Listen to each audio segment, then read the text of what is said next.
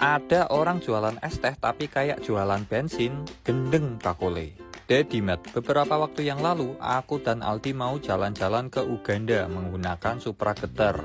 Tapi baru sampai di Wonopringgo tiba-tiba motore mogok. Jebul bensinnya entek. Akhirnya Supra Geterku tak tuntun ke jalan yang benar untuk mencari bensin tentunya. Mas, tuku bensin mas.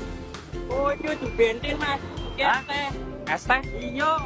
Wah Allah, ya wis isi es teh. Oh, teh kok, wonge kok. Iya Oh alah, jebul bakul es teh Pertehmina, pom es teh pertama di dunia. Di sini menyediakan berbagai macam es teh dengan gaya pom bensin.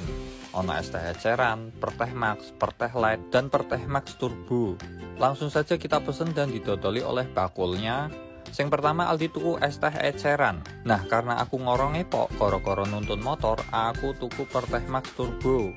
Ukurannya gedine pok dan ketika diumbe seger mat.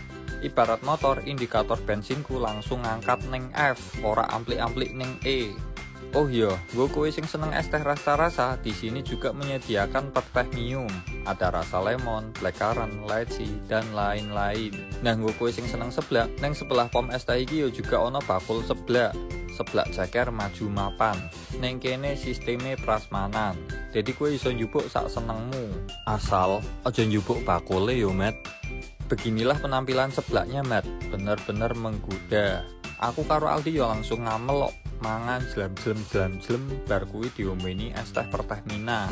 Alah yo jose pok, Mat. Dengan begitu diri ini energinya full dan siap nuntun motor tekan Uganda. Jadi nggo kue sing durung tau meni, aja kelalen mampir, Mat.